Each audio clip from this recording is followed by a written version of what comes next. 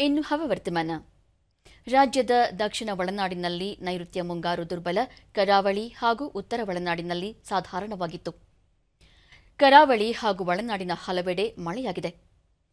ಕಲಬುರಗಿ ಜಿಲ್ಲೆಯ ಅಡಕಿ ಹಾಗೂ ಬೀದರ್ನ ಮಂಥಾಲದಲ್ಲಿ ಅತಿ ಹೆಚ್ಚು ಒಂಬತ್ತು ಸೆಂಟಿಮೀಟರ್ ಮಳೆಯಾಗಿದೆ.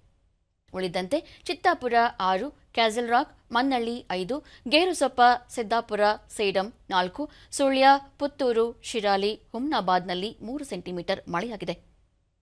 ಮುನ್ಸೂಚನೆಯಂತೆ ಮುಂದಿನ ಏಳು ದಿನಗಳ ಕಾಲ ರಾಜ್ಯದ ಹಲವು ಪ್ರದೇಶಗಳಲ್ಲಿ ಭಾರೀ ಮಳೆಯಾಗುವ ಸಾಧ್ಯತೆ ಇದೆ. ಕರಾವಳಿ ತೀರ ಪ್ರದೇಶದಲ್ಲಿ ಗಂಟೆಗೆ ಮೂವತ್ತೈದರಿಂದ ಐವತ್ತೈದು ಕಿಲೋಮೀಟರ್ ವೇಗದಲ್ಲಿ ಗಾಳಿ ಬೀಸುವ ಸಾಧ್ಯತೆ ಇದ್ದು ಮೀನುಗಾರರು ಸಮುದ್ರಕ್ಕೆ ಇಳಿಯದಂತೆ ಎಚ್ಚರಿಕೆ ನೀಡಲಾಗಿದೆ. ಬೆಂಗಳೂರು ಸುತ್ತಮುತ್ತ ಸಾಮಾನ್ಯ ಮೋಡ ಕವಿದ ವಾತಾವರಣ ಹಗುರ ಮಳೆ ಸಾಧ್ಯತೆ. ಗರಿಷ್ಠ ಇಪ್ಪತ್ತೆಂಟು, ಕನಿಷ್ಠ ಇಪ್ಪತ್ತೊಂದು ಡಿಗ್ರಿ ಸೆಲ್ಸಿಯಸ್ ತಾಪಮಾನ ದಾಖಲು ಸಂಭವ.